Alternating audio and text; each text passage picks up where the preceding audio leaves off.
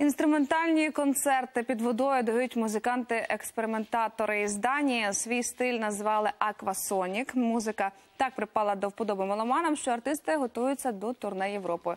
Про підводні мелодії Дмитро Євчин.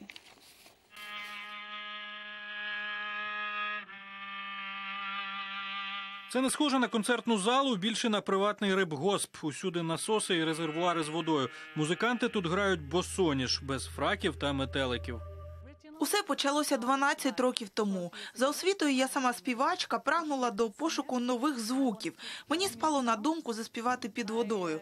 Коли я спробувала, відчула, що змінився тембр. Я багато експериментувала і за кілька років почала грати під водою на невеликих інструментах. У світі тиші ці п'ятеро данців видають ну дуже своєрідні звуки, схожі на пісні китів.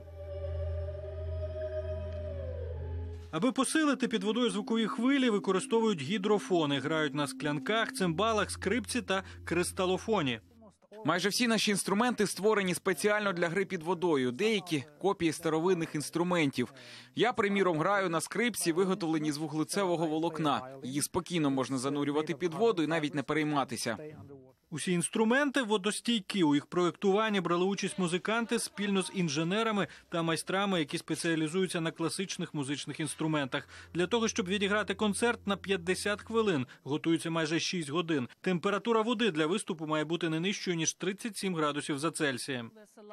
Так, обмежень чимало. У воді ми не можемо виконувати деякі композиції. Вода та звук борються одне з одним. Натомість вода додає звукам особливого тембру. Такого ефекту не досягти під час наземної гри.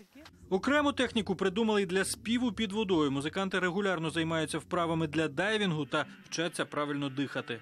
Дмитро Євчин, новини телеканал Інтер.